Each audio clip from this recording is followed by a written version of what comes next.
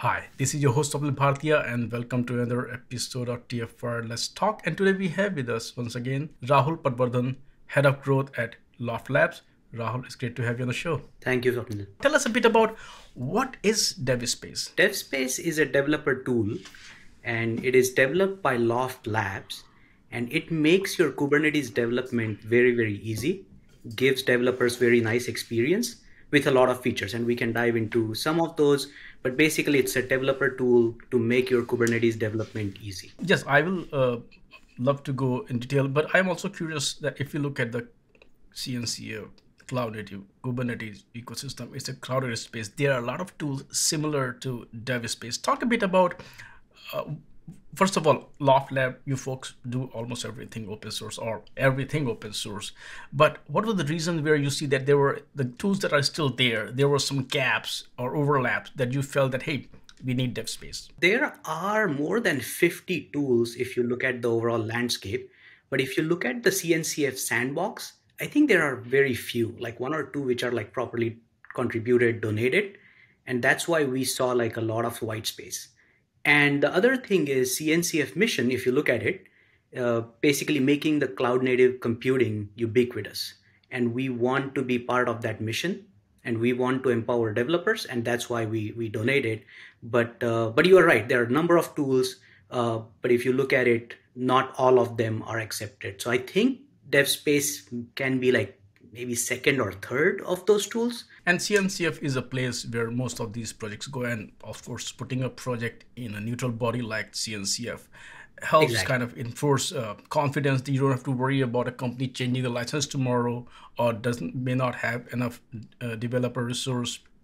But once again, before we talk a bit about uh, CNCF and your contribution to CNCF, um, talk a bit about because you folks do a lot of open source you have a lot of other open source projects as well. Talk a bit about how much influence or how much, you know, as you said, you wanted to go a bit deeper into the features.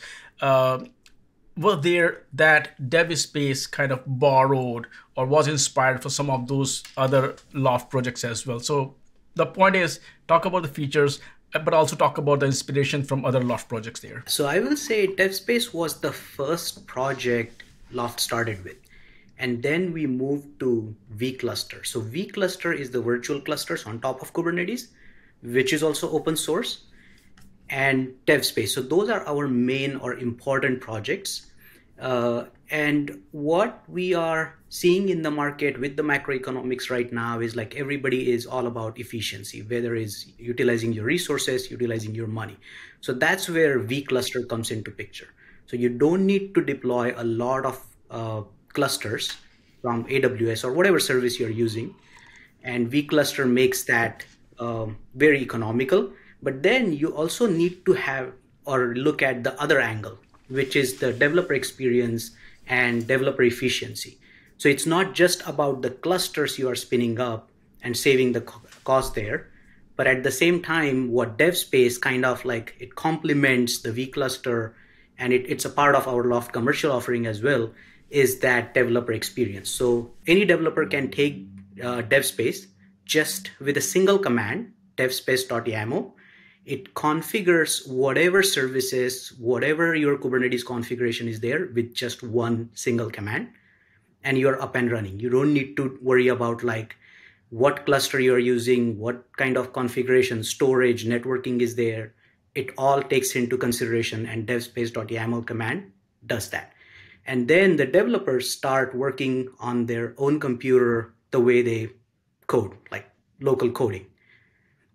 So basically it takes away the pain of all the the day two the backend the storage networking. And at the same time as i said uh, previously the vcluster so devspace gives that really nice experience to the developers fast development remote development. And vcluster on top of that is more, more economical for your Kubernetes. So that's kind of the landscape. And you can use both of our projects because like they are open source, so totally free. Uh, but they are part of the Loft commercial offerings, which has more more functionality to it. Excellent. Uh, thanks for explaining that. Now let's talk about uh, the contribution to CNCF. You already touched upon that. We already know the advantages of that. We touched upon that. But talk a bit about when, as you said, this project predates vCluster actually. Uh, so talk a bit about when you made the decision that hey, let's put this in CF, CNCF. What was the reason driver behind it? Till now, uh, like almost thousands of companies are using DevSpace. Maybe some small, some are the bigs. Uh, and till now, more than a million times, DevSpace has been installed, and we have 3,200 GitHub stars. So basically, all the development was going on. We were getting the feedback from the developer community. Companies were using it, and now uh, it's much more mature. It's it's much more stable. And now what we want is this to get into hands of enterprises. Maybe they will use it in production. And no other space than CNCF or Linux Foundation to put the governance on top of it, make sure that everything is right, and it's totally free, totally open to use. And uh, using DevSpace or even the other projects, uh, we don't know. Like these big companies uh, will come up with some ideas on top of it, and that that's why basically we decided to uh, contribute, donate, whatever you want to call it, uh, and help even large companies as well as the small companies. Perfect. And now also talk about you know when we see a lot of open source projects, especially when we look at this kind of neutral foundation, when you contribute a project uh, to the foundation, it's not like hey you have washed your hands or you're done.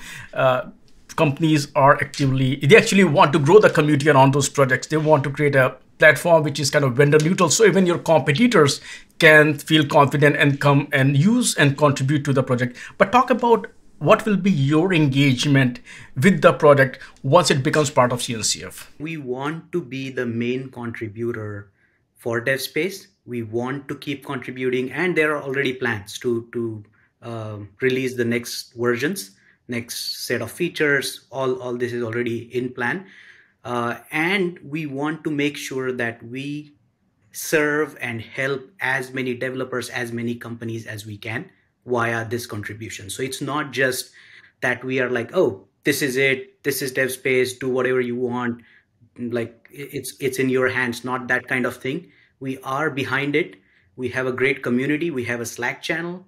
So we listen to our users, we work on it, and we we plan our product roadmap based on that. Since you talk about the product roadmap, I also want to understand the relationship, which is also very critical to the health and sustainability of open source, is commercial support behind these projects. A lot of companies they can afford to have in-house developers team who can manage and maintain these projects. A lot of companies irrespective of whether they're big or small they don't want to do that. They want someone else to take care of that. They want one throat to choke. So talk a bit about the importance of commercialization. And then as you uh, earlier mentioned it's also part of your product. The, the commercial angle of DevSpace as well so that folks do have the confidence hey you know what? If i do want there's a company where i go to for support or additional features. Loft lab is going to be the main contributor. Of course like we welcome any kind of feedback any kind of features. That's that's all great. But uh, as I said before, uh, the Loft commercial product, it's it's kind of like uh, made up of various open source projects like vCluster, DevSpace, JS Policy, Kiosk, and they are complementary to each other. So uh, our commercial product provides like integration, automation, a very nice UI, and it, and it's very simple in terms of uh, whether you talk about the SSO feature whether you talk about like our sleep mode where you can save a lot of money putting like a think of it like a thermostat for your kubernetes or your infrastructure. So we are not going to go away because these features are really really important for our customers and they are giving us that feedback that oh like we we use these things daily and we use vcluster to save cost of the actual clusters. We use DevSpace because our developers absolutely love us. This is a quote from one of our customers.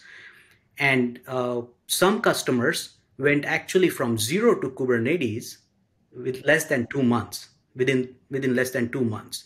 So it's not just people who are already using Kubernetes, we also help people who are not using Kubernetes to get on Kubernetes. And that's kind of like a, a big market, uh, a lot of good value proposition for a lot of bigger companies, smaller companies. Uh, and because of that, even though we are like the main contributor, we have the commercial part. We are not going to go away. We have 40 paying customers. Some of them are Fortune 100. So uh, I want to make sure that all those who are listening uh, that they understand that we are well funded. Uh, it's a small team. Uh, even though we contribute to the open source, there is a real company, real commercial behind this. Talk a bit about the importance or role of dev, DevSpace, not just in the CNCF landscape, but the larger cloud native Kubernetes ecosystem as well. If you take like three different buckets of various Kubernetes, let's say providers, uh, dev tools, and deployment options, uh, Loft or DevSpace, we are not into Kubernetes deployment. The ranchers of the world, let's say even AWSs of the world, they do good job at that. And then the other part is, let's say the developer tools, which kind of like they, they create some environments, uh, they are good at that. But what Loft and specifically DevSpace provides is kind of like a good partnership or good kind of segue into that developer experience. So you can use your Minikube uh, as a cluster, you can use AWS as a cluster deployment, and whatever infrastructure or whatever platform stack or whatever workloads you have. But DevSpace sits kind of in between to give your developers that great experience. So it, it really fits into the Kubernetes landscape where you can use whatever deployment providers you have you can use whatever the the platform stack or workloads you have and devspace kind of sits in between to connect to all these things and automatic configuration the storage the networking. So the developers no need to worry about like all of these things. They just write one command it's up and running.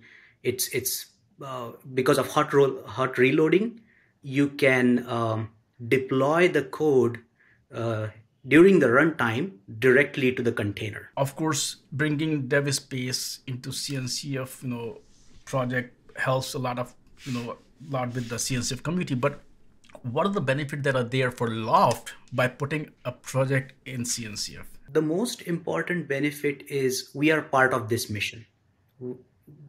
Our both the founders, the company culture is rooted in technology and we want every company every developer to succeed with technology so the main thing is making sure that uh, we are moving this mission of cncf forward. So that's the one thing. The second part which which is kind of selfish that loft is a ultimately a commercial product. So this open source gives us a lot of good feedback from the community so that we can use that feedback and utilize that in the commercial side that oh you know what like these kind of things are really important for like very high highly scaled enterprises whether it's financial services whether it's healthcare whether it's um, uh, any kind of regulated industry. Just giving an example. But we get that feedback we put that in the commercial as well as of course open source. We, we are the main contributors.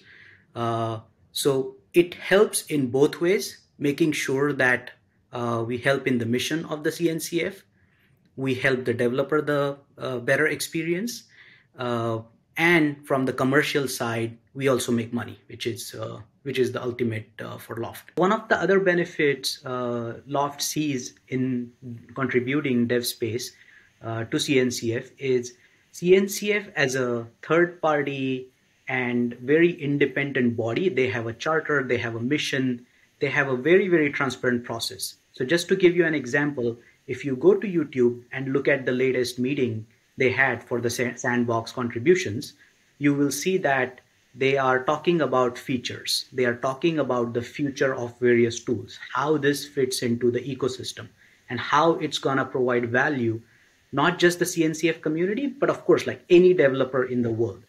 And this gives us a, as a loft lab or any other company any other developer in the world so much confidence that the process is transparent it's it's going through very a, a, a democratic way and uh, it's all based on merit it's not just influenced by any company because of money or anything else. Rahul, thank you so much for taking time out today and talk about uh, the contribution of DevSpace to CNCF, the benefits that are there, uh, it's like a very you know perfect example of symbiotic relationship companies who put their projects into open source communities and they benefit back because instead of like loft developers now the whole worldwide community is now getting involved with the project making it better and better. So thanks thank for sharing all those insights and i would love to chat with you again. Thank you. Thank you so much swapnil. Love to chat with you again soon